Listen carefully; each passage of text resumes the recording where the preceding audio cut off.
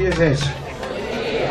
Quero agradecer o convite feito aqui pelo Quilombola Caonge, pela organização do evento. Um evento muito bonito que a gente já teve a oportunidade de apoiar em outros anos, mas nunca tinha vindo aqui. Então, fiquei muito satisfeito, estou vendo que realmente é um momento importante para as comunidades quilombolas do Recôncavo, também é um momento de demonstração de cultura, de arte, das manifestações que aqui ocorrem e é um momento também de organização das comunidades, sobretudo. Então, nós nos congratulamos com os organizadores, com o pessoal que fez aqui uma justa homenagem a Ananias, de fato é uma liderança que tem princípios e segue e representa muito bem vocês em tudo que faz junto ao governo do estado, ao governo federal.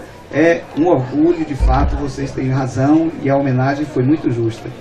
E nós estamos é, querendo contribuir cada vez mais com, da maneira que podemos com as comunidades quilombolas. Nós estamos aqui com o nosso secretário de Desenvolvimento Rural, Jerônimo.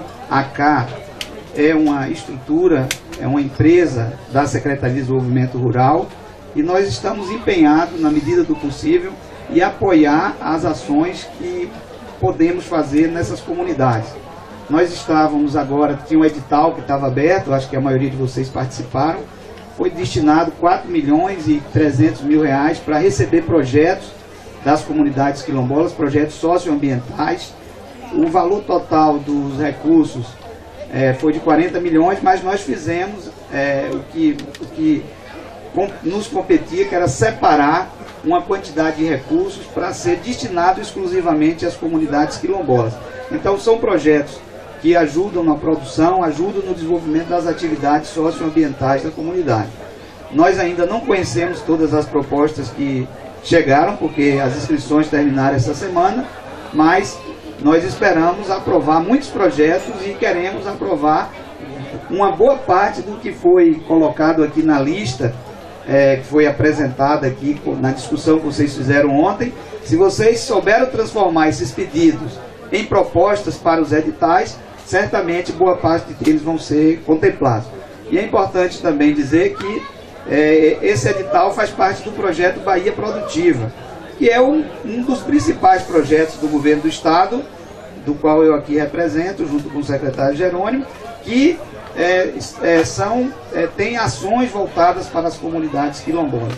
Esse foi apenas o primeiro edital. Nós ainda vamos fazer outro edital em março, deve ser mais ou menos do mesmo valor. Vamos fazer mais outro em julho do ano que vem.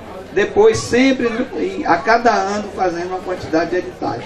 Então, a, a, nós queremos, com eles, apoiar muitos e muitos projetos é, das comunidades quilombolas. Além disso, nós temos outros, outras possibilidades de apoios às ações que vocês fazem aqui.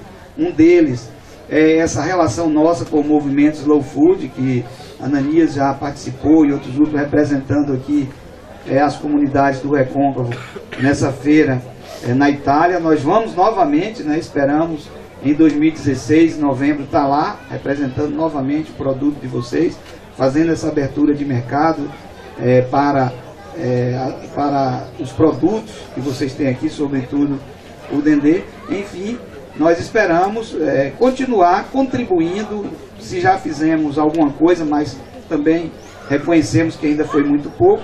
Nós esperamos, a partir desse ano, com os investimentos do Bahia Produtiva, continuar apoiando aqui as ações de vocês nas áreas, sobretudo na área de produção e nas áreas dos projetos socioambientais. Obrigado pelo convite e bom evento para vocês durante esses dias. Ok, seu Wilson, não esqueça de levar o nosso brinde aqui, ó.